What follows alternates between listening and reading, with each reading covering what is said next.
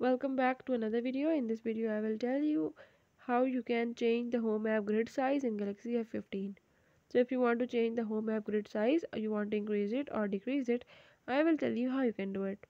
You just have to watch complete video follow all the steps and don't forget to subscribe. Let's watch it.